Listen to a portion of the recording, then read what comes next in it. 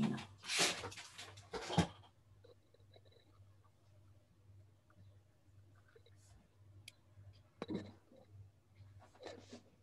Hi folks, uh, for everyone that's on so far, we're just going to give it a few more minutes. We're just slightly uh, ahead of schedule there, which waiting slightly after seven o'clock.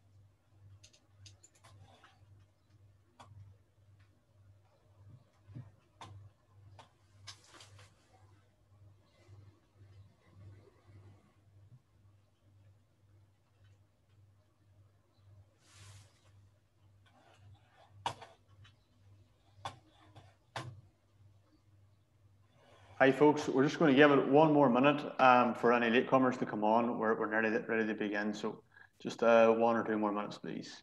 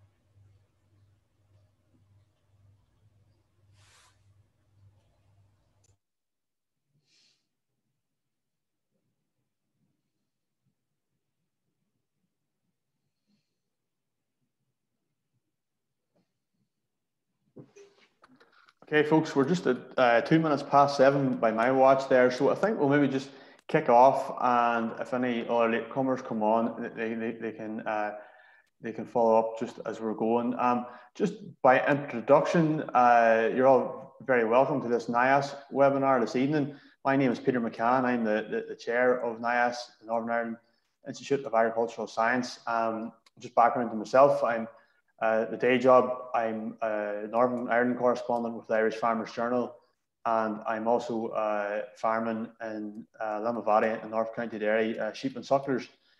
Um, just, uh, I know from, from the list, we have uh, several people on tonight who actually aren't uh, members of NIAS, just by background. It's a professional organisation for, for people working in the agri-food industry in Northern Ireland. It's, it's made up of a, a, wide range of people in different work in different fields. Like journalists and farmers like myself, the bankers, civil servants, researchers, scientists, uh, a, a, wide spectrum of people. So these are all very welcome to this evening's event. So we're talking mitigating methane uh, lessons from New Zealand, and I'm delighted to say we have two speakers uh, this evening coming live from uh, coronavirus-free New Zealand, uh, Mark Aspin and Dr. Peter Janssen. Um, just, I suppose, the background maybe for our two speakers and perhaps for anyone who isn't just really familiar with the topic in Northern Ireland. Uh, in, in, Northern Ireland, the latest figures that, that I could see from DAERA suggest that uh, agriculture accounts for 27% of greenhouse gas emissions in Northern Ireland, and methane uh, equates or uh, is responsible for about 65% of those emissions from agriculture. Um, those calculations, from what I can gather, are under the global warming potential 100 system. Um, and so if we use the some of the work that we've done in the Farmers Journal uh, in recent months, has been looking at the system that's used in the University of Oxford, um, the GWP star, and it does give a, different uh, impression of that. In fairness, um, we would suggest that it's reduced it by almost 500 times, um, and that's effectively because the Northern Ireland cattle herd hasn't actually uh, been increasing. Um, in fact, it's actually reduced by 6.2% over the last 20 years, uh, 1.72 million head in 1999 to 1.6 million head last year. Um, we're not here to talk about different systems of counting greenhouse gases. What we're here really to talk about this evening is steps we can take uh, to mitigate to mitigate uh, methane and uh, all the uh, the global warming effect that effectively has. On our two speakers this evening, they're going to kind of go at the same time, take in, in, in turns uh, speaking. So we're going to have a presentation from, from Mark and Peter and then question and answer session. So if I can ask, uh, just throughout, as they're speaking, feel free to, to bounce questions through. Preferably the Q&A tab at the bottom of the screen, not chat. Uh, Q&A is better for us if you can. So feel free to bounce them in as, as, as we go along. And also at the, at the end too, we can take questions at, at, at any time after the presentations are finished. Background to the two speakers, Mark Aspin, he's General Manager of the Pastoral Greenhouse Gas Research Consortium. He's coming to us this evening from Wellington. Um, his organisation aims to provide knowledge and tools for New Zealand farmers so they can mitigate greenhouse gas emissions from the agriculture sector. The PGGRC is funded by eight New Zealand uh, agriculture sector partners and works in collaboration with the New Zealand government. It's founded in 2002 and its programs for mitigating methane through animal genetics, low greenhouse gas emission feeds, livestock vaccination, and other inhibiting compounds. Um, coming from Palmerston North is Dr. Peter Janssen from AgResearch New Zealand. Peter coordinates different work streams to develop technologies to reduce methane emissions from ruminants. Um, his research has found that across a variety of diets and species, the majority of rumen microbes are largely the same. And to me, this is interesting because it would suggest that whatever works in New Zealand will certainly work in Northern Ireland. So that's not for me. Very uh, happy to have three speakers here and uh, a kick off. I think with Mark, do you want to go first? Tēnā koutou, tēnā koutou, tēnā koutou katoa. Uh, ko Mark Aspin ahau. So uh, welcome um, to our presentation. I'm, uh, uh, my name is Mark Aspin and uh, we're coming from Aotearoa, New Zealand. So uh, looking forward to talking through what we've been doing. Well, crikey, it's, uh, man, it's 17 years, I suppose, we've been trying to nail this one. So um, hopefully we'll have some interesting uh, bits and pieces for you to, to, to see as we go.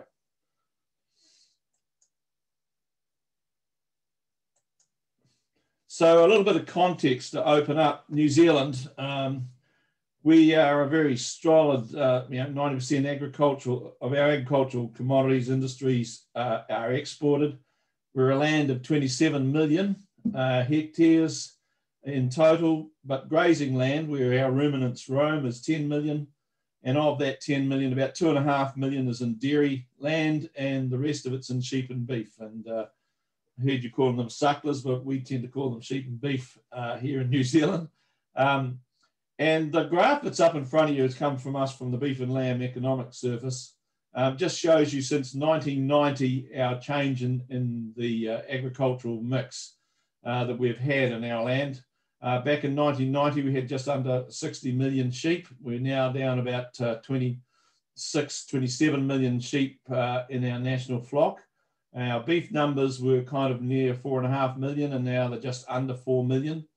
And our dairy herd went from a point of about three and a half million in 1990 to being uh, in total of about six, uh, 6.4 million today, of about five, of about 5 million cows and milk. Um, so that's the sort of context of our agricultural industry. And in the, in the, um, and in the and in this discussion, uh, that means that our New Zealand greenhouse gas inventory um, and profile is quite unique in the developed world. Um, due to that uh, ruminant and due to our lack of major manufacturing and industry kind of uh, in our economy, um, 48 or 47.8% of our emissions comes from agriculture. The split uh, in the sense of the sectors, and we talk, we talk about the dairy and uh, sheep and beef as kind of sectors, um, is about a 50-50 split. It's about 40, it is more or less 50, about 13% from beef, 37% or so from sheep, and about just under 50% from the dairy industry. We do have a deer industry uh, as well, um, and they contribute about one, one and a half percent of the total emissions. And of those agricultural emissions, uh, 80%, 80, 75 to 80% is methane, uh, with the balance being nitrous oxide um, from our free grazing systems. There is very few housed uh, farming systems in New Zealand. There's a few more than there used to be, but uh, it's by way a very small niche market of housing. Uh, our animals graze outside all year round and we farm them that way. Um, that does mean that we have urine being deposited on the soils, and so we do have nitrous oxide to contend with, um, and it makes up about uh, 20 to 25% of our total emissions. Um, so that's the mix and the background in the sense of uh, what the challenge we have. Um, on top of that, we have some, as most uh, countries in the United Nations do have these days, um, policy and targets for greenhouse gas reduction. Under the Paris uh, Agreement, our commitment was to reduce emissions by 30% below 2005 levels by 2030. That's at an economy level, that's not agriculture, that's, that's the overall New Zealand economy. Um, and in terms of our national domestic agricultural targets um, and methods for dealing with greenhouse gas emissions, um, we've had an emissions trading scheme since around 2007. Uh, that scheme is all gases, all sectors, but uh, agriculture has not been uh, paying uh, directly for its non-CO2 emissions in this emissions trading scheme. Um, we'll come back to that in our last slide, but uh, we've sat outside that because uh, simply there is not very many options open for New, for New Zealand farmers to be able to reduce their emissions on from coming from their farm businesses. so there was not a lot of incentive. Uh, this earlier this year, the uh, current government passed the Zero Carbon Act, which has uh, refreshed our our approach to uh, greenhouse gas and climate change. And now, under that act, we've got some new targets: the net emissions of carbon dioxide and nitrous oxide to go to zero by 2050. Um, and in our legislation, we've split the gases, and so methane has a separate target uh, is in the, the, current targets, which are being reviewed uh, over the next little while, uh, methane to reduce to 10% below 2017 levels by 2030, and a bracketed 24 to 47% below 2017 by 2050. Uh, and for the industry people and the farmers on this, a bracket of 24 to 47% uh, has got all of our local industry quite concerned because there's a hell of a big difference between 47 and 24 if you've got to change your farming industry. But we are talking 2050. So plenty of contention, plenty of discussion uh, around those targets.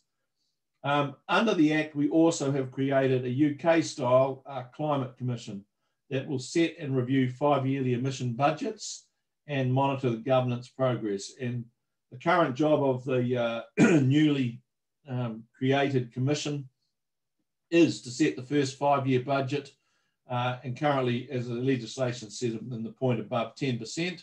I don't think that's going to change, but the uh, 2447 may, but they are, they are working and advising on that now. So that's kind of the context of the land, our country, our agricultural industry, the emissions, and what our targets are in New Zealand. Um, just a little bit of background because Peter and I will drop in and out of acronyms a little bit. Um, and so just kind of to give you a little bit of a feel of how we operate uh, our agricultural greenhouse gas mitigation research approach here in New Zealand.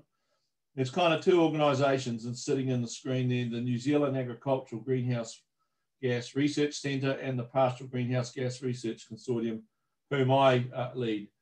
Um, both of those receive government funding. Um, as uh, Peter noted in my intro, um, we match, uh, we being the uh, livestock industry, so the dairy, uh, sheep and beef, deer, and the fertilizer industry, match dollar for dollar with the Ministry of Business and Innovation and, Develop and Employment. And that's our science vote. Uh, in, in the terms, I'm not sure what your ministries are called in, in the UK, but that's the science vote we put up a dollar, they match it one, and so we double our money. And we we invest into our research programs 5.2 million of New Zealand dollars per annum. Um, our partners, and, and we are a member of the Greenhouse Centre, um, the NZAGRC, uh, receives its money from not only from the Ministry of Business and Innovation and Employment, but also from the Ministry for Primary Industries. And they have a, a, uh, a slightly bigger budget um, these days 9.7 million New Zealand dollars per annum. And collectively, in certainly in methane, uh, a little less than some of the other areas of uh, nitrous oxide and soil carbon, uh, which we're not talking to today, but uh, we work collectively with the Greenhouse Centre to uh, deliver uh, options and opportunities for the sector. So those will be the acronyms you might hear us talk about throughout it. Um, it's always been in our in our view, it's always been a three-way uh, um, collaboration required here. Um, in many respects, uh, all the players, we are the industry. Our ruminant farm businesses create the emissions that we're going to try to reduce. Uh, New Zealand as a country has got responsibilities internationally, and so government is totally involved uh, in in making sure and and helping us to uh, meet those targets and, and keep our, our free trade and, all our opportunities open. And this is a biological challenge. And so science is immediately uh, in the forefront of trying to solve the challenges of methane and nitrous oxide. Those three players have to work together. We always have worked together. And if they don't, uh, we will never get the, the most, uh, the slickest uh, and the best um, solutions to this. Um, and as New Zealanders, we seem to be able to manage that um, and still have our own autonomy for each of those three groups from time to time. Um, just a little bit of background to the uh, PGGRC. You've heard a little bit of this, so I'll be quick. Um, you already heard our purpose to, to provide knowledge and tools for New Zealand farmers. Uh, we are very focused on delivering for New Zealand farmers firstly and foremostly. Um, we know our ruminant systems are unique to New Zealand, but then they're very much similar to others. So uh, we think we do have some global opportunities as well. We have a memorandum of understanding with government since 2003 to support greenhouse gas mitigation research. So it's a 17 year partnership. Um, over that time, we've put over $80 million into this kind of research um, of our, we've directed $80 million. So, you know, 40 million of that has come from farmers uh, 40 million from the government alongside it. Uh, the consortium owns all the intellectual property that we deliver, and we look after that on behalf of New Zealand farmers.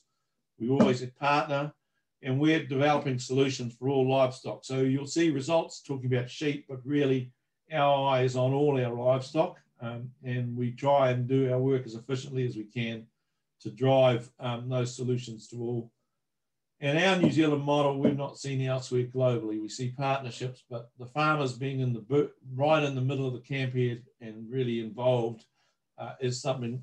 I, I, think we're pretty proud of that, and um, it's got its challenges, but I think it's a pretty cool model. So, um,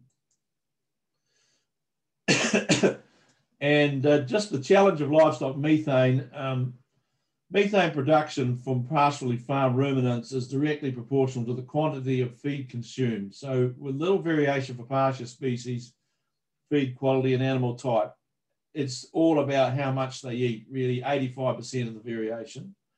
System efficiencies, you know, um, greenhouse gas per kilogram of product and everything are really important and running an efficient business is very important, but it doesn't have a massive effect on gross emissions. Um, and so it's not your way out when you've got a 10%, 27%, 47% kind of target reduction. Efficiency is not going to get you there. Um, you've got to reduce your total amount of emissions. And New Zealand pastoral farmers have few management uh, options. uh, to de decouple emissions of methane. So our mission in the, in the consortium and the centre is to provide those decoupling solutions. And so that's what the rest, the next slide, I think I pass to Peter. So over to you, Peter. Yes, uh, good evening. Um, my name is Peter Janssen. I work at uh, an organisation called AgResearch. So we're one of the uh, research providers for the PGGRC and the NZAGRC.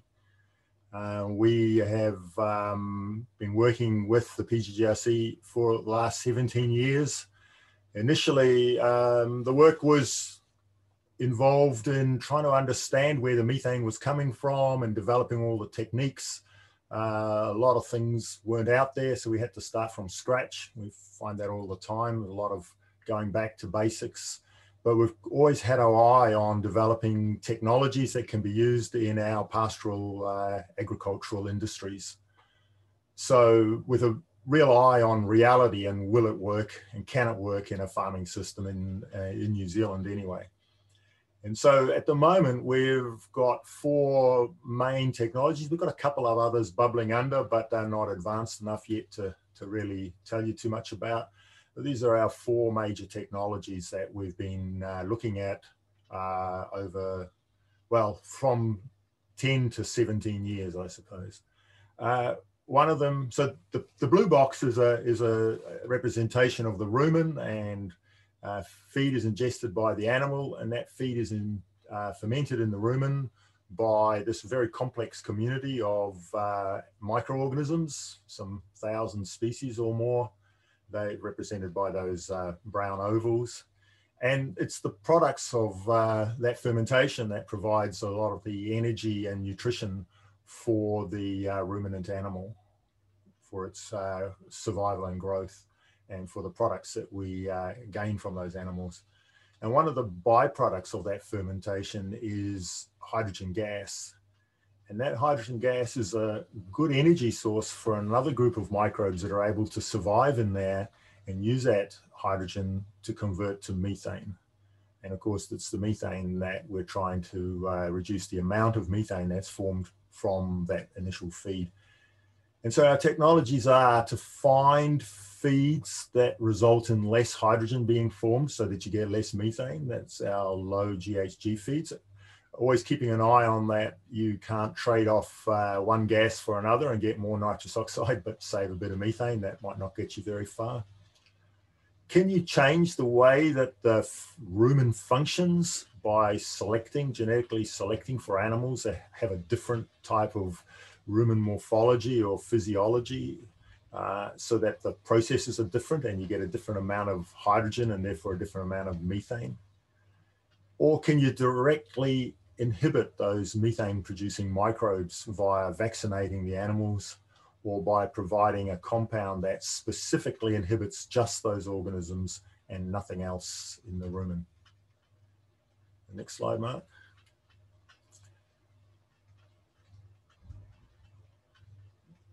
So I'll just go through uh, the uh, four technologies with a slide on each and in between Mark will just tell you a little bit about some of the equipment that we have.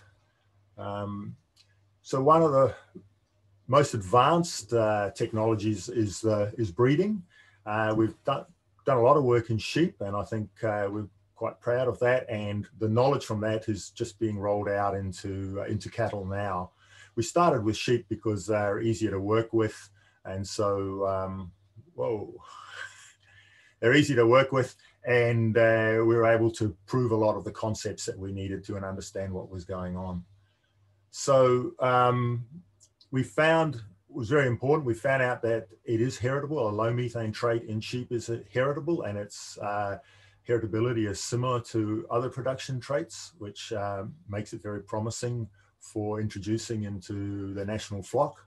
And importantly, it's maintained across the different seasons as the animal ages and also if the animal is fed different diets. So it's permanent effect on the animal. We've bred for experimental purposes uh, two lines of sheep. We've deliberately selected for sheep that produce consistently higher methane than the average and consistently lower methane than the average. And that difference is about 11%. And our current low line produces about 6% less methane than the national average. Um, how that's after about, because the way that um, breeding works, it's a bit over three generations of uh, selection.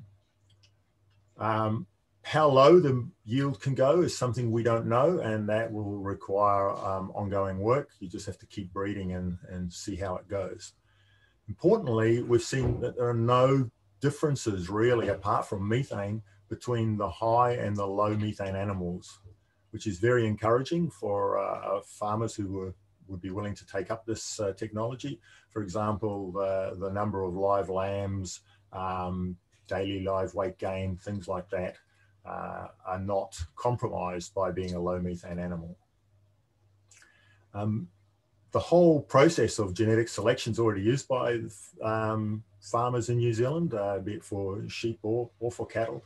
So um, it's readily taken up into the industry and there are mechanisms via genomic uh, selection that farmers can select for different traits they're interested in and methane can be one of those traits. So it will be part of the farmer's daily business of um, improving their flock.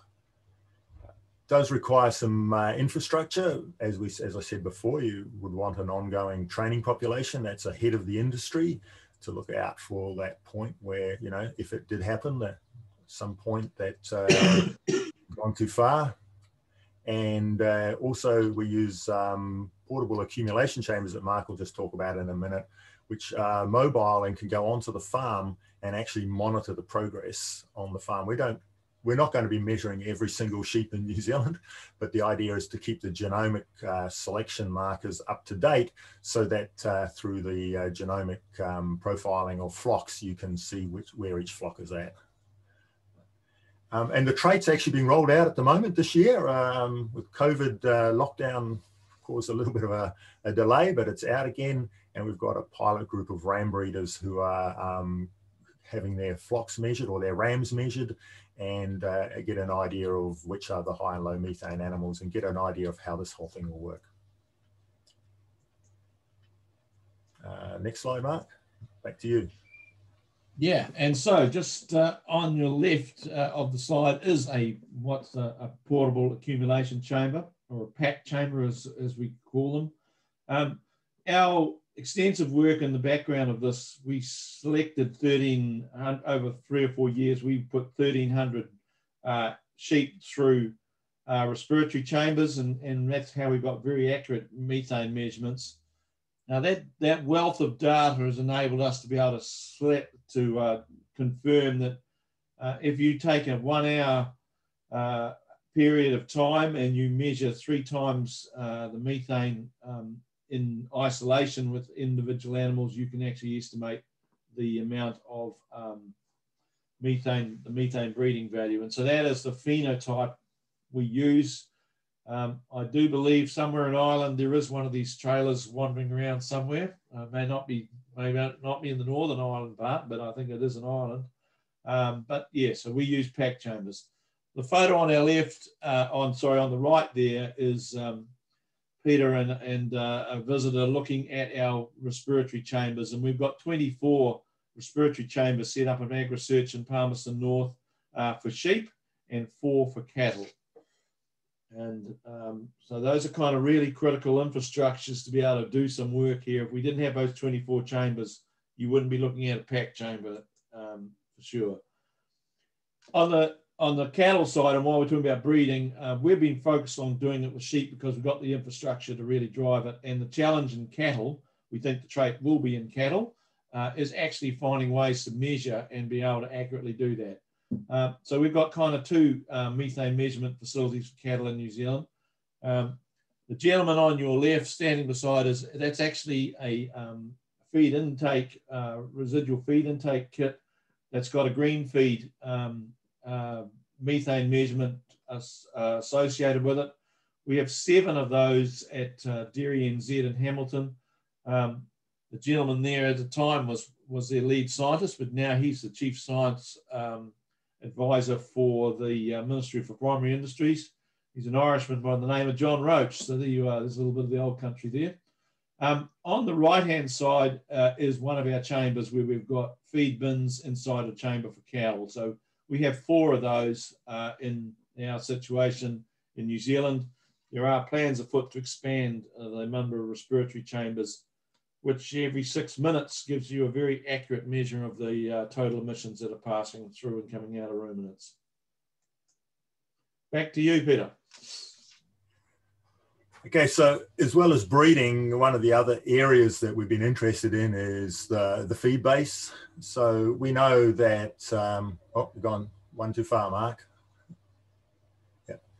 Sorry. so uh, we know that uh, the biggest driver of uh, methane is the amount of uh, feed that's eaten. So pretty much you get a certain amount of methane per kilogram of dry matter intake uh, for pasture and uh, everyone was hoping that if you could manage your pastures well and get a higher quality pasture that you would uh, reduce the amount of methane. Um, that's not the case. The, the amount of methane per kilogram of dry matter intake doesn't uh, change significantly with changes of uh, the pasture quality. So you might get more production but uh, you don't get less um, methane per kilogram of dry matter intake, which is the basis of the measures in New Zealand. So that's what our uh, inventory is based on. So we do know that feeds can reduce methane and grain has long uh, been known to reduce methane. You can get about a, a reduction of about 50% if you feed animals grain. Grains are just not part of our uh, system. It's not part of our widespread system anyway.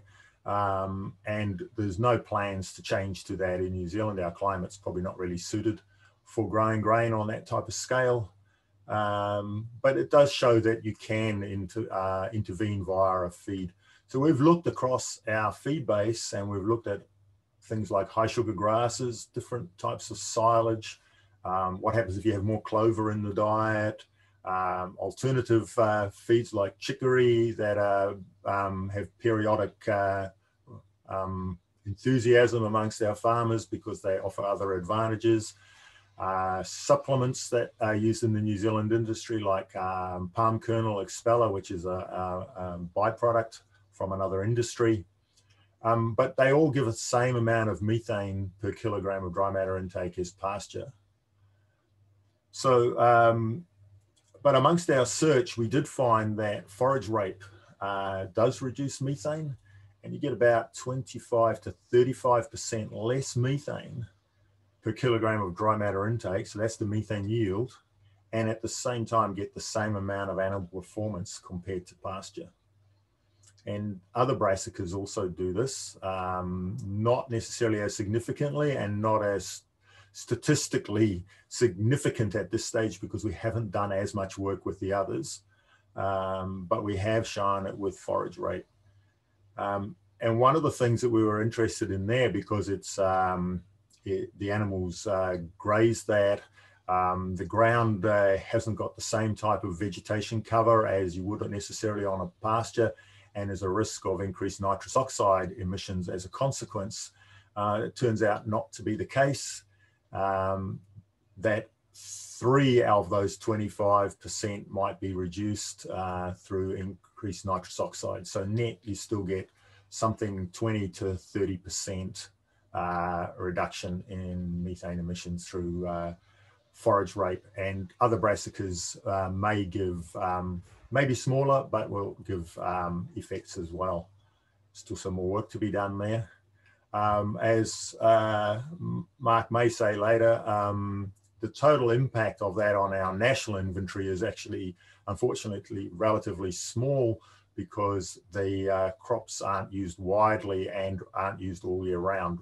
But for an individual farmer using it, they'd still want to claim that credit. And so we aim to be able to give them that um, option if, uh, if they're using those crops.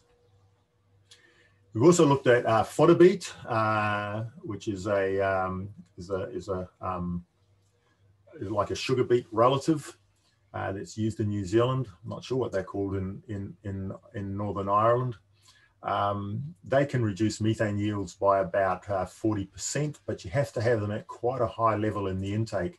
This is similar to grain.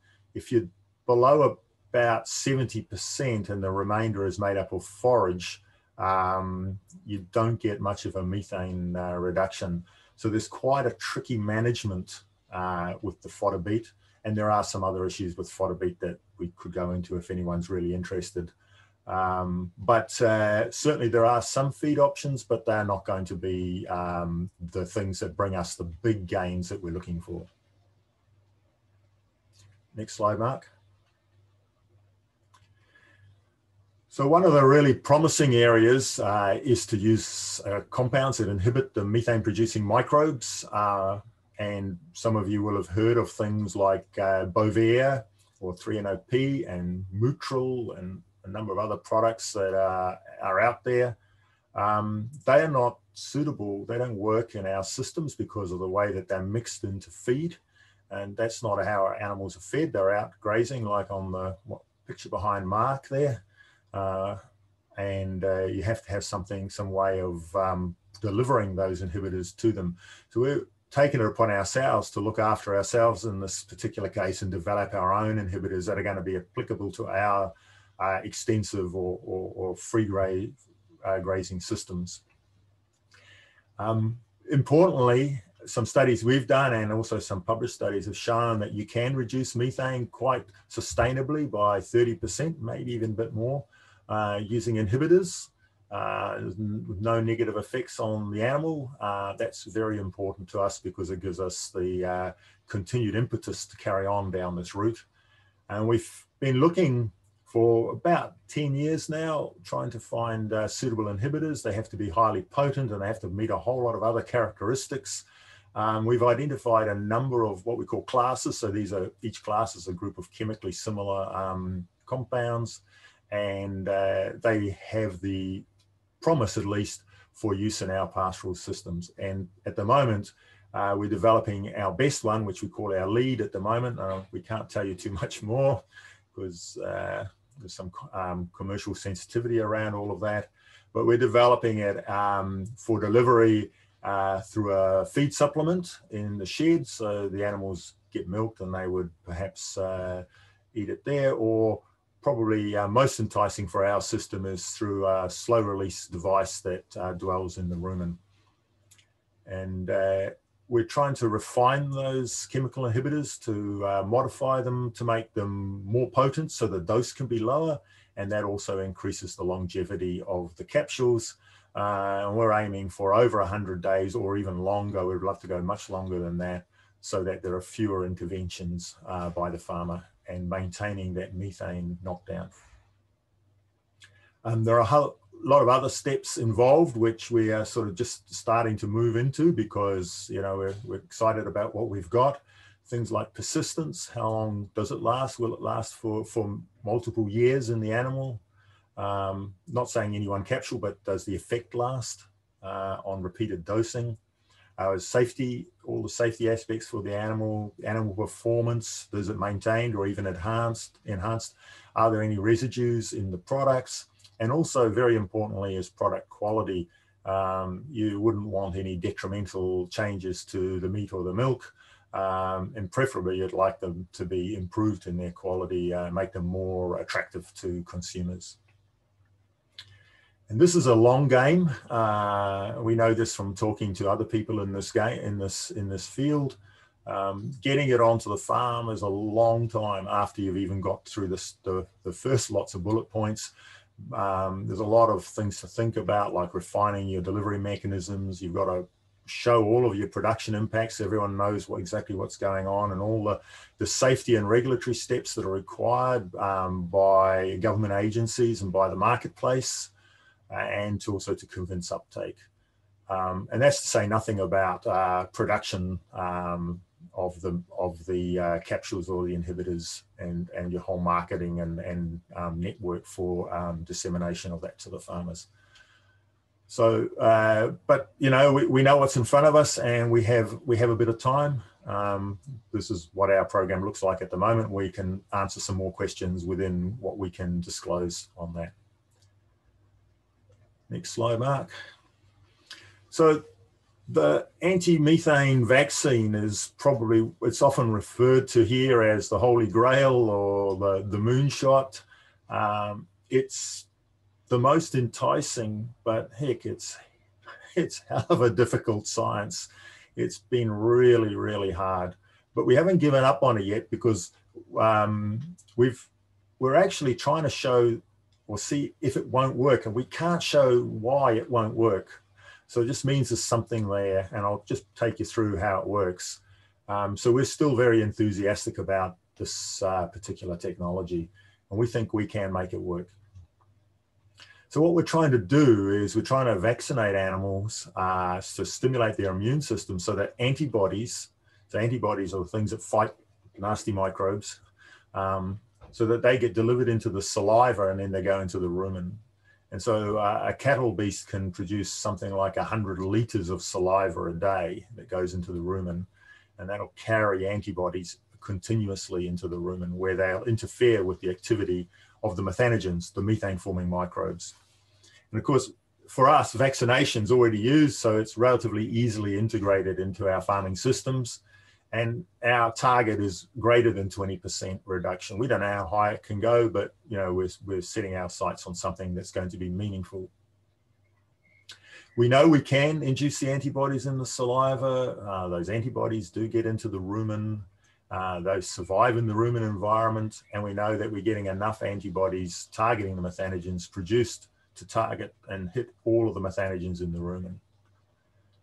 So at the moment, we've we've done quite a few trials or a few trials and we're trying to understand why we don't get the methane reductions in the vaccinated animals. So we're doing that in a very, very scientific, systematic basis, often going back to quite fundamental knowledge and saying, is there something we've just missed here? Uh, and then we, we, overcome that. And as we go through, um, we haven't exhausted all of it yet. We're working systematically through, but we haven't seen any reason why it can't work. And we've got some ideas now just in the last few months of what those issues might be. And we're working on uh, overcoming those and, and making the, the vaccine uh, to be an effective one. Um, vaccine is a little bit less tricky to get onto the market. We've been told five to seven years when we talk to uh, to companies about this. Um, again, so the same types of things that you're interested in: production impacts, safety, and regulatory steps but uh, generally a vaccine is a bit easier because the uh, residue issues don't uh, raise their head because of the nature of the intervention. Over to you, Mark. Right, one slide to go. Just picking up on a couple of things we, we probably just haven't. The productivity, when we've ever talked to farmers about reducing methane or greenhouse gases, number one is will it affect productivity? And that is really very front of mind of all of our programs that Peter's just run you through. Um, the evidence is starting to mount about what impacts. We were, we were always concerned in our early years that if we shut down the methanogens and stop methane production, we'd close down fermentation. That doesn't seem to be the case. And um, really, you've got to have long term trials and some long term solutions that can actually give you a feel on that productivity. So the genetics is kind of pointing that things are looking okay. Bit of work coming out around the world that uh, longer term methane reduction hasn't taken productivity out. So certainly it has to be neutral. It will be a very hard sell if we were impacting our productivity. The last slide before we get into questions is uh, this one here. He waka eke noa, um, which is Māori for, uh, translated to yes, we're all in the canoe together, is talking about a five-year partnership that's just been put in place in the last uh, uh, 12 months, probably, uh, of industry, government, and Māori uh, as a collective commitment to reduce agricultural emissions. Uh, you might recall in my earlier statement, we've not been inside the emissions trading scheme, facing a cost. Um, the government were proposing to put us in and make us face a cost without any solutions. A commitment by the industry in partnership said, well, before you put a cost on agricultural emissions, let's try and get something that's going to work for people to incentivize them to change. So this last slide is just giving you a, a flavour of where the industry, the people involved with agriculture, are working with government on this. So the He Waka aims to equip farmers and growers to reduce emissions, maintain or increase sequestration, and adapt to a changing climate. And sequestration is certainly in the trees as aspect of carbon capture rather than in the soils, but we're working on the soils because we really don't have the numbers to back it at the moment. Um, what it expects, the commitment expects is for all farmers and growers, and it is agricultural wide, not outside livestock, but most of our emissions come out of livestock industry, um, is their ability to change and reduce their emissions um, and have uh, on-farm plans and to calculate net greenhouse gas emissions and, and be incentivized to take actions on climate change on their farms. And so there will be a commitment by the industry to actually, for every farmer over the next two to three years, uh, to actually have a, a farm plan about climate change and about reduction, reduction of emissions and actually have their greenhouse gas number. You can't actually do anything about it unless you know what it is. Um, and so those last, the last bullet point, the work streams kind of reflects the focus that uh, the commitment is looking at. So uh, farm plans, emissions reporting, on-farm sequestration, uh, emissions pricing, which incentivize people to make changes rather than just being a tax. Uh, we have an, a, we have a dim view on just paying taxes for taxes' sake. Um, Māori farming and agriculture, Māori uh, land holdings around 20, 20 odd percent of the agricultural industry is farmed uh, by Māori. And um, extension and innovation is what you just heard. So if this all works, that is the end of our presentation and we're happy to field any questions. So, got it. Gentlemen, that was fantastic. Thank you very much. Um, uh, you spelled it out in, in, layman's terms, as I would say, which is good for people like me who, who are not uh, too well briefed in the science stuff. And uh, another just compliment of your presentation. You were straight talking where you, where you just said outright that uh, efficiencies won't get you so far and, and, this and that. And so it's, it's, it's, it's good to hear that.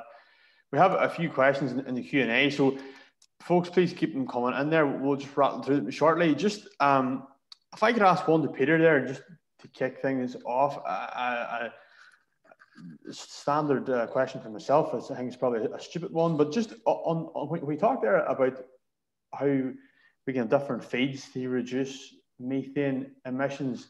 When you said those figures to say like using grain, you can potentially reduce it by 50%. Is that reduce methane emissions in absolute terms, or is that in terms of per kilo dry matter intake?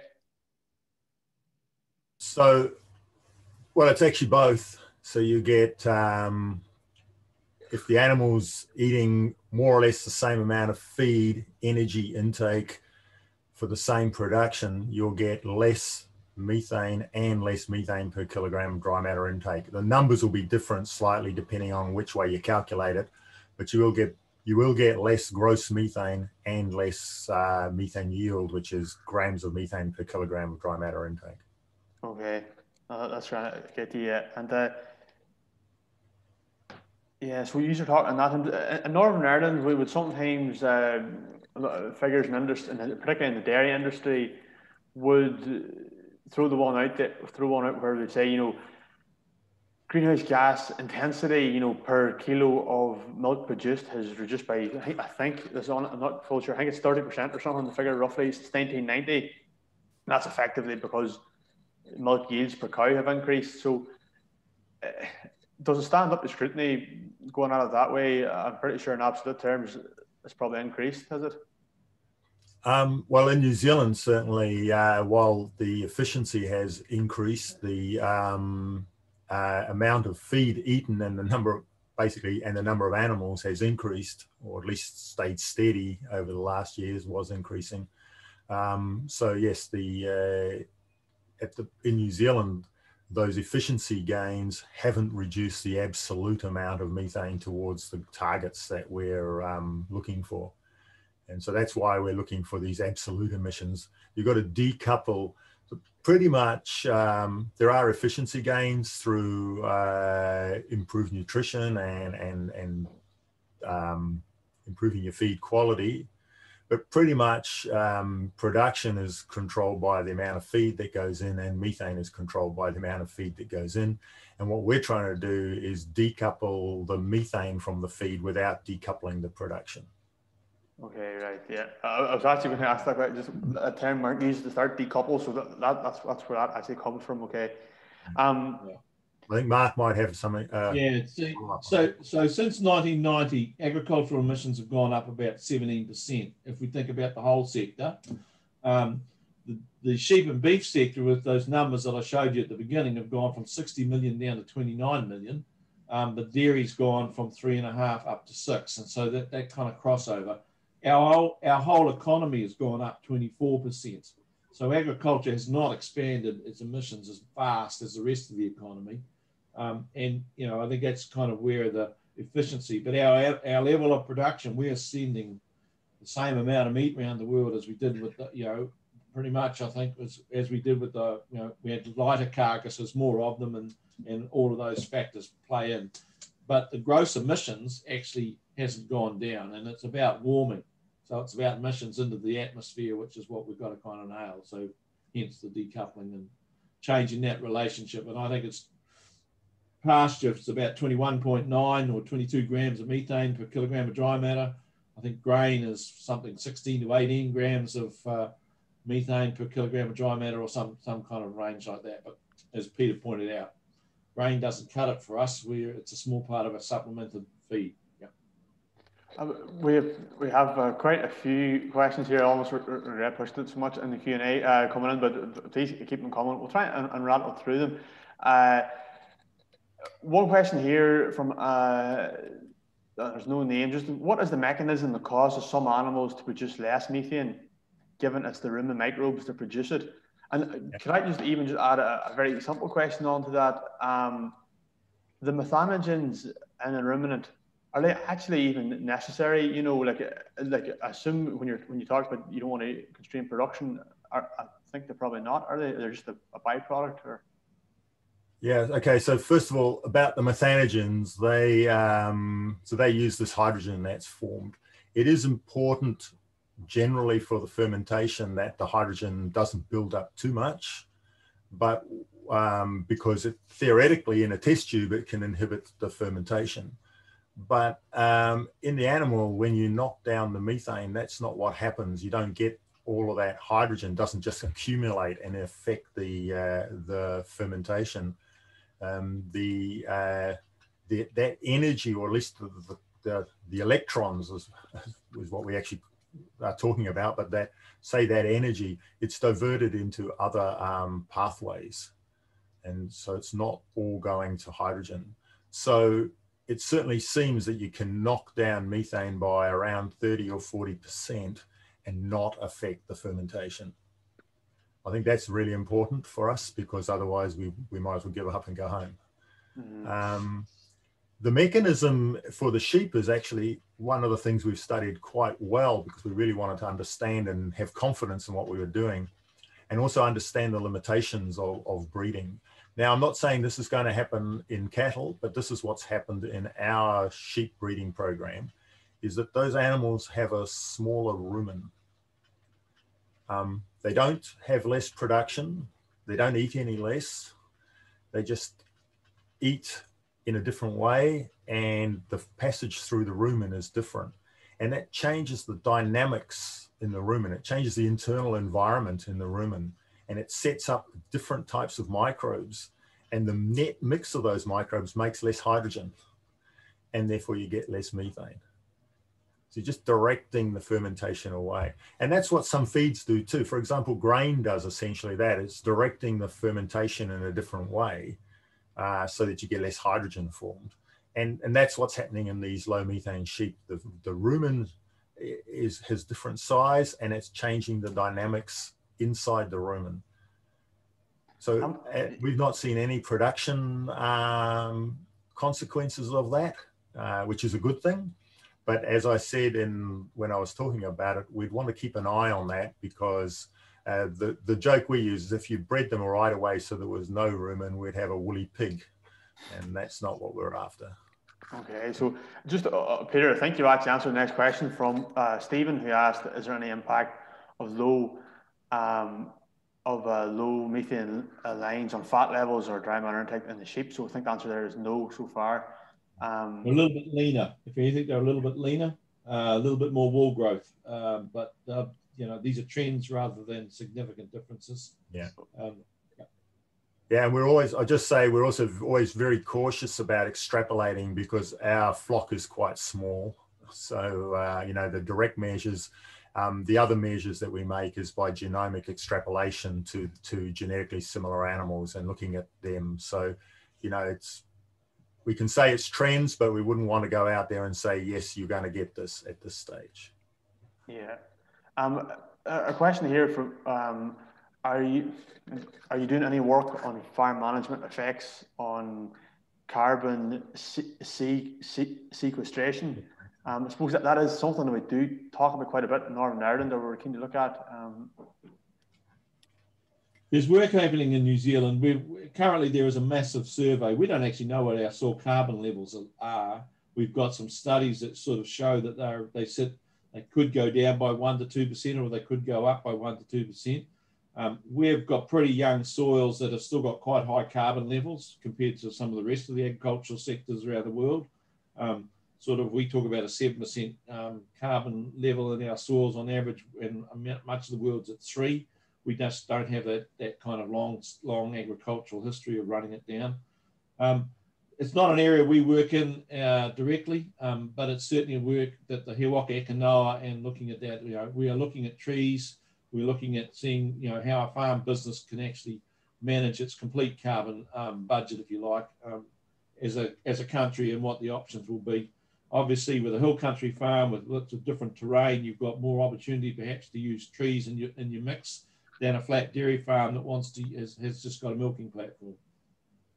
Yeah, so um, the soil carbon work. So we haven't presented everything that's going on in New Zealand, and we're not involved in everything that's going on in New Zealand. The work is coordinated though, which is a good thing. Um, the NZAGRC is doing some work on soil carbon, uh, so that's that sort of in the tent, as it were, with us. Um, one of the, the difficulties with soil carbon, as Mark mentioned, is the measurement. And uh, in New Zealand, we can have uh, um, a few wet years and then a, and then a drought. And then during the drought, the soil carbon will drop. And then in the wet years, it'll accumulate again. And um, this long-term study that Mark is talking about is we're just trying to get an idea of what the trend is on different soil types and different terrain types and, and because you know the normal the normal thing is you get three years worth of study or five years worth of funding to do some work. It's just not going to cut it. These these are going to have to be 30 year programs to try and get an idea of what's going on. So the intention is now to have a really long look uh, and understand the trajectories of, of that before a commitment is made. Because obviously um, you know you want to know whether it's going up or, or down um, we think our farming practices are quite good. Uh, and we try to look after our soil because after all, that's what farmers, you know, a lot of farmers say they, they farm the soil that produces the, the grass that feeds the animals, that gives them their livelihood. Um, but uh, in terms of, um, yeah, the actual trajectory, that's going to take some time. And in terms of trees for sequestration, then you're really hitting a political, it's a political hot potato, that one. Um, I don't think I'd like to say too much about it, but Mark may want to say something. Uh, yeah. No, it's carbon. I think the one rule for soil carbon we have in New Zealand is if you more cover, you the, the longer you have your past, you're like, you know, where does soil carbon come from? It comes from photosynthesis. So minimizing the amount of, of time between crops and between things is an issue here. Uh, droughts will mean you don't have pasture cover or you know um, plant cover over your land that's when you start to lose. It's very dynamic. I think that's about the only rule we've got is to sort of minimise the amount of time that uh, we've got bare soil because that opens up the losses. But yeah, it's a it's a work on for us. Um, on, on the targets there, Mark, too, you talked about at the start. Just a basic question again, but why was methane given a lower reduction compared to CO2? Was just because of the role that agriculture has in the in the, in the economy in New Zealand?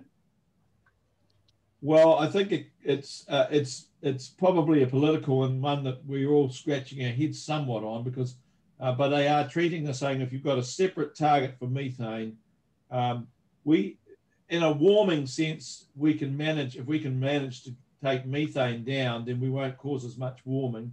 But for the globe, you have to have CO2 at zero and nitrous oxide at zero. And so um, the split gases is, is looking to have a, you know, not all one, all roads lead to one. So it's just trying to reflect the warming. I think that policy is still being worked through, but um, that's the reason we've done it. Um, and methane is tough. If we had a methane to zero by 2050, we wouldn't do it. We can't do it. I mean, our, you know, it is a very, very hard uh, target. And, and that's really, it has been, you know, at least to manage that. I think agricultural industry is probably okay with the 10%. We're getting pretty nervous about 22 to 47, though. That's uh, the only lever New Zealand farmers have to reduce emissions today is to reduce the numbers of animals they've got. Um, and they do like to think they're in a long-term business and they're uh, in the business for, you know, so reducing the size of your business to go to stay afloat doesn't make a lot of sense. So that's the reason it's in there, um, is to give us the focus um, and, and have separate targets. You kind of alluded to in your presentation there, just it, the, New Zealand, the, the industry has not minded completely sticking with the low input grass based system. Just a question here from someone saying, should, should the farmers just be aiming for a smaller herd, producing more milk per cow, perhaps using some supplementary or some more supplementary feeding or more to begin with? Um, um, well, we probably we've got a pretty strong ethos of growing our own feed as much as we can inside our, you know. So we we we top up our pasture curve with with forage crops don't bring in a lot of supplements across the system, more in the dairying industry than um, then and, and really the whole drive for efficiency is to, to make the best use of the of the pasture you um, grow on your property or, or the feed that you can grow on your property, should I say, and manage your nitrogen surplus so you don't use too much nitrogen for the nitrous oxide side of it. Um, we're an unsubsidized industry. There is no subsidies in the New Zealand economy. Two to three percent of our economy is subsidised, and you guys today have probably seen that in that research and development is a subsidy. So we we are up against it in that sense that we don't have a kind of a broad economy that can move some of those funds across to make those supplements cost effective. We we uh, live and die on the market of the world, and that's what makes us kind of be as efficient as we can if you're cutting, carrying, and bringing in supplements, there's a cost to that. And so I think that's where we kind of land with it. Can we do it inside our own um, individual farm businesses? But yeah, there's more supplement and milk volumes and milk prices will drive farmers to, to make as much production as they can. Uh, we're trying to align ourselves well with the with the world market so we don't get caught by that. Um, just the presentation is obviously focused on making. Just if you could, uh, is, is there some work being going on too on nitrous oxide and reducing that? Um, or is that? Yeah, look, the nitrous oxide is part and parcel of reducing the amount of nitrate, the nitrogen surplus kind of language I used uh, in on farms just now. Um, there has been quite a bit of work in New Zealand using nitrification inhibitors, which are compounds you can apply to the soil and stop the transformation of ammonia nitrate nitrate to uh, nitrogen to uh, the nitrate to nitrate and nitrous oxide. Um, we did actually have a product released into New Zealand and was on the market being used. Uh, there wasn't a codex for that, um, and it was a, residue was found in milk uh, in an international market, and that closed that market off. Uh, so there are some some some real challenges with the, that approach. but um, the other side of it is to reduce the amount of protein that's being fed to our ruminants. Our pastures, by that, by their nature, um, a ruminant needs about 12 or 13% crude protein. They're getting off at 17% in every mouthful. So there's a lot of nitrogen passing through the system, and um, maybe the use of maize silage or some other crops like that, which have lower N, could offset that. But again, that's a supplement, that's a new cost. So that's the work. It's pretty tough. Uh, nitrification inhibitors. There is some pastures, uh, plantain, which is a pasture uh, herd that's used, is showing um, some promise of being able to be utilized. Um, if you get 20 to 30% plantain in your sward, so it's a grazed, it sits in your pasture sward, uh, there is some indication that that will have an impact on nitrous oxide emissions uh, and that work's just ongoing. Um, so those are the kind of nitrification inhibitors, plantain are kind of the two uh, major technologies that we're uh, focusing on, as well as the management of how do you lower the amount of nitrogen passing through the, the ruminant system. And, and just a very basic terms again, would that come back to uh, uh, uh, ammonia as well? Ammonia emissions, that, that's a, a, huge problem in Northern Ireland. And would that surplus, reducing that surplus nitrogen affect that? No, ammonia is one of the pathways to get to nitrous oxide. We don't have that. We don't have uh, those kinds of conditions and those kinds of regulations. We are getting regulations in waterways, and that's come in in the last five to six years across the country. And we now have nitrogen caps in most landscapes, uh, which affect the uh, farm businesses that use a lot of nitrogen, um, which is the dairy industry compared to the sheep and beef. Um, so, yeah, I mean, it's coming in, but ammonia is not an issue that we, we're worried. I think an island in the South Pacific where the wind blows from the west to the east, uh, the ammonia doesn't last very long in the year. It's, it's, it's whipped out to sea pretty quick. In our system, most of the problem is for nitrogen is the is urea in the urine or maybe applied. Um, it's broken down to ammonia, but it's very quickly uh, uh, metabolized further to uh, to nitrates, and then those nitrates uh, are leached into groundwater or washed into rivers. Or you get in that process, um, if you get um, the first of all uh, um, nitrification from the um, ammonia to the nitrate, and then if it gets wet and then the nitrate gets goes back to uh, to ammonia, that's when you get your nitrous oxides formed. So it's really the nitrate that's our issue, um, and it's the amount of nitrogen that goes into the system, and it gets converted to nitrate, and it's during all those conversions to and from nitrate that we have the problems. So as Mark said, the you know the the the ways around this are can you find pasture species that that um, maybe use the nitrogen more effectively or inhibit the microbes that transform it in unwanted ways? Um, are there chemical inhibitors that you can apply as like a like a fertilizer really, but um, that inhibit the uh, the microbes that produce the nitrous oxide? Or can you manage your farm or your animals in a way that minimizes the uh, nitrogen wastage and it's that nitrogen wastage that leads not only to nitrous oxide but all the other unwanted things like um, uh, nitrogen pollution. And uh, so farmers are going to be driven by that whole nitrogen picture rather than just the nitrous oxide.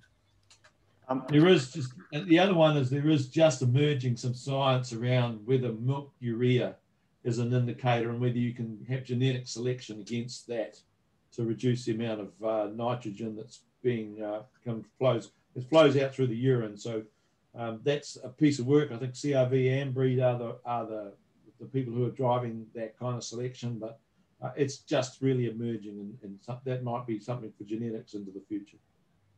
That's we're going rightly over time, but I think we still have most people are sticking with us. I think if two more questions left, please. Just uh, a quick one here. Just so say if, if we get uh, the technologies rocking, and we can reduce methane emissions how are we going to incentivize farmers to adopt it on their farms? Is it through bringing methane into the emission trading scheme or taxation or incentives or subsidies or how are you actually going to get these technologies rolled out? Well, ultimately, we'd like to see that it, our understanding of the ruminant and, actually enhance productivity and makes us better farmers. And so it, you don't need to bring out the, the sticks and the carrots. Um, for us here in New Zealand, um, there is discussion, and that's what the uh, He Waka is looking at a pricing scheme that sort of would, would, to put us on a trajectory to reduce our emissions, to take up some of these technologies. Um, but ultimately, um, we've got to see that some benefit flows to the farmers themselves, um, and um, that's the challenge we've got. If you can do these things, um, and the market requires us to do that, I mean, for keep our ruminant um, we know that ruminants are, are, getting somewhat of a bad rap for the amount of because uh, they do their nat- by, by their nature and the wonderful things that they do of turning hard to digest plants into meat, milk, and fibre. Um, there is a there's a cost to it. So I think we are hoping that uh, there will be a small amount of cost, maybe just to help focus people's uh, view, uh, you know, focus on it. But ultimately, it's got to help the farm business um, and if it doesn't do that, it's going to be a very hard hard yield, and that's when the you know taxation is. And the emissions trading scheme should should drive behaviours to to favour low carbon um, alternative behaviours, and that's that's hope, hopefully how it will be set up. So the argument we have is the um, discussion about point of obligation, whereas uh, the point of obligation currently is at the processing plant, so at the milk and meat processing plant. Um, if you want farmers to change their behaviour, that point of obligation and the ability for uh, to get credits or to uh, face um, costs needs to be at the farm level. And so that brings a, a, a, a, level of complexity, which I think the government's quite aware of. You've got about 200 and something um, processing plants and milk and meat, or maybe less than that. So they versus uh, 25,000 or 28,000 farmers. And so there are some administrative challenges in here if you go to the farm level, but if you go at the farm level, the individual will, will either benefit and will make choices that affects them. And that's really, when it comes back to it, where do our emissions come from? The emissions come from farm businesses running ruminant livestock, and they're the ones that have to make the changes. So we, we are trying as much as we can through He Waka Eke Noa to, to get people understanding their numbers, and we have a lot of faith in the power of uh, New Zealand farmers to be innovative and New Zealand industry to be innovative and actually respond to those things. Um, and you know, not beat. You know, we this is the world we live in. Uh, we got. We all know that fossil fuel is what's driving climate change, not ruminants. But we uh, want to make sure we contribute effectively. I just follow up on that. Go ahead, Peter. Yep. Um, if you see our tech, our technologies, um, most of them are actually auditable, which I think is also important if you want to have an obligation at the farm level. So a farmer can say, look, this is my genomic profile of my flock. That means I've got this amount of methane less than the average or, or, or whatever. Um, I right. bought shots of a vaccine, you know, that they reduce methane by 30% for one year. I bought so many capsules. They each reduce methane by 30% for 200 days, or whatever the you know the certified um, uh, um, utility of each of those technologies is. That's uh, immediately audible through receipts or vet um, document, veterinary documentation and so on. So we, we have had that in the back of our mind always. You know, um, there are technologies that are easier to audit, and if you want to encourage people to take them up, they have to have some incentive. And if there's a cost to carbon and you can provide a simple way of auditing it, it should uh, encourage the farmers to take it up as well. So it's been always part of our thinking that it's all very well having a technology, but someone has to get recognized for using it. Otherwise, it didn't really happen. Um, lads, we're, we're going rightly over now, but uh, um, we've quite a few questions here. I think I've, I've hopefully boxed a few of them off. Uh, some of them are quite similar, and your answers have been very comprehensive, and you've actually answered some uh, questions without being asked, so which is good. I think we'll leave the very last question of evening. It came from your fellow countryman, David Porter. Um, I think it's, it's, a good one, to be honest. So we have genetics, vaccines, uh, feed, and inhibitors. I want to ask both of you is which one would you bet the farm on? What's, what's going to work? I'll go first, Mark, and I'll let you wrap up as the as the boss of the whole show. Um, I'm going to I'm going to say um, so. Pointed out earlier that you know things like the vaccine are really hard, um, uh, and we're still investing in it. Uh, things like the feeds um, don't have a big impact. We're still working in that area. Um, what we do is we look across and say, what's the likely impact, the likelihood of success, and the cost of maintaining it? And and many when you do that cost benefit, they all come out pretty much similar.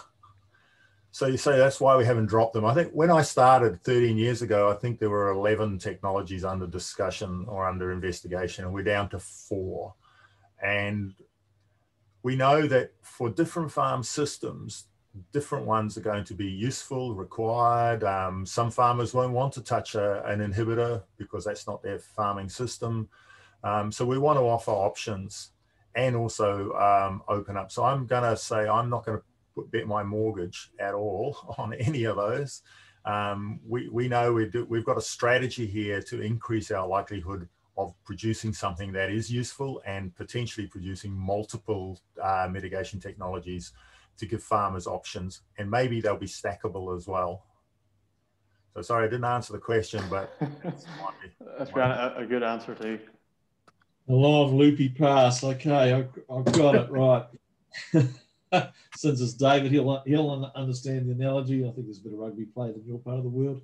Um, look, who would I bet think? It depends on our targets. If we've got a 10% by 2030, um, that's a, a that's a one percent a year. Uh, probably genetics uh, in sheep is kind of starting to accumulate. If we can get the uptake and, and the adoption, it, it's, it's, probably certainly going to be worth something to tick away with. Um, our understanding of uh, forage crops gives us a small amount too, and if, and if supplement feeds grown inside the the, uh, the fence inside your farm boundaries could be enhanced, then you might have some options there uh, as well. But if you're getting 22 or 47% uh, kind of targets to reduce methane, then the inhibitor approach where we know what we can target enzymes is there is, you know, proven ability to do that. The delivery mechanism is a challenge, but um, and making sure they're benign is kind of part and parcel. So I think that's still a reasonable bet in the sense of covering off the inhibitors. Um, and the and with the vaccine, it is we haven't seen the evidence that says it won't work. And we've seen the in vitro laboratory thing that it does impact methanogens. Uh, so we're hopeful on that. You probably would put less money on it until we actually go through the proof of concept and proof of function. Um, but look, I think they're still well worthwhile. And um, how much do we need to reduce methane is really going to depend on the rest of the world turning itself off oil and coal and the whole 1.5. I mean, Paris was about keeping under 1.5 warming. So I think having all four, we've got diverse animal um, farming systems in New Zealand. We need to have all four. The small ones are probably easy. They're here now, many respects but the big ones are still worth going for. So I'm not sure I would. I think I'm with Peter. I don't think I'd put the farm on them because um, farm's there to do a lot of other things. It's not to bet on technologies. But you know, the one thing we don't have in New Zealand is genetically modified approaches. We're a GMO-free country. There is a lot of discussion about whether that might change and whether that could give us accelerate some of these other technologies uh, even more effectively. I don't. I think the jury's out on that, and and we're working through it. But kind of that's where we haven't. We don't. We still don't feel like a, it's a, it's an impossible dream. I think it's a it's a long, hard one, but we, we are making progress. Gentlemen, that is excellent. Hey, some great feedback even in the Q and A, just praising the presentations. And so, just on, on behalf, behalf of NIIAS, just really uh, thank you very much, hey, for, for taking time to speak to us. Uh, excellent presentation and for answering uh, questions. Uh, uh, folks, also just thanks to, to everyone who, who, did in this evening. Um, we ran slightly over time, but it was well worth it. And uh, again, some I asked non-members on this evening, do get in touch with us if you'd like to, to become part of the Institute for uh, future events and that. So uh, listen, everyone, Peter, Mark, thanks again. Thanks everyone for, for dialing in and uh, hope everyone at home enjoys the rest of their evening. And Peter, Mark, have a good, enjoy your Wednesday. It's Wednesday morning for you. So yeah, Thanks, no, folks. look, it's been wonderful. Thanks for the opportunity. And look, if you've got some burning questions there, Peter, that you want us to kind of have a crack at, um, we're happy to deal. We're happy to field those and, and send you back a, an email response. Um, glad you're of interest. Good luck. It's not a, not that hard out here, but it is pretty tough. And uh, so you know, enjoy, enjoy, and have a crack at it. That's great, man. Thanks again. Hey, sure, we'll be in touch. All the best. Cheers. Bye-bye. Bye.